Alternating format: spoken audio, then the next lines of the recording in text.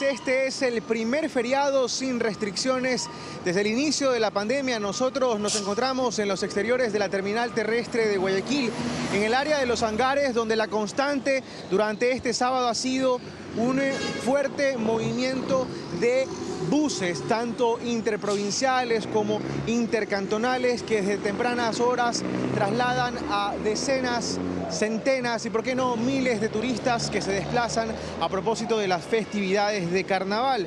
La terminal terrestre de Guayaquil nos ha informado que, por ejemplo, ayer 25 de febrero de 2022, Solo por esta terminal terrestre han salido 51 mil personas. 5 mil más han sumado en la terminal satélite de Pascuales. en el transcurso de la mañana de este 26 de febrero han sido 23.219 las personas que han salido por la terminal terrestre de Guayaquil y 4.112 por la terminal terrestre de Pascuales con corte a las 10 y media de la mañana.